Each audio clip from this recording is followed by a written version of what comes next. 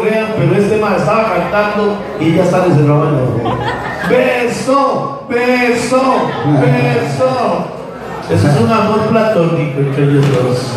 Cuando estamos en la terraza y sabe por qué usted lo está disfrutando, porque no está con nosotros.